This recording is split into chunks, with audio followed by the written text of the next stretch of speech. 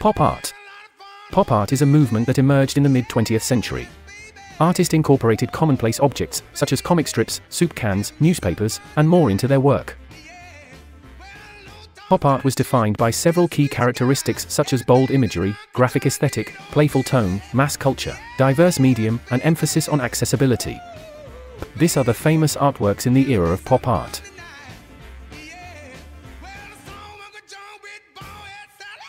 Paintings often utilized acrylic oils, and sometimes paint on canvas. Sculptures were typically made from materials like fiberglass, resin, or metal. Collage was a popular medium, with cutting and rearranging images.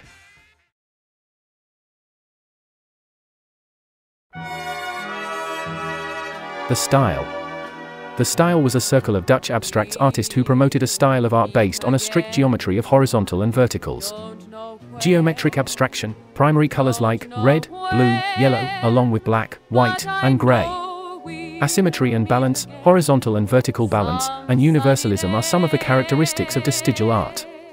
Paintings, architecture, design, and printmaking were the main medium through which artists of the De Stijl movement. De Stijl often used simple geometric shapes, primary colors, and asymmetrical composition.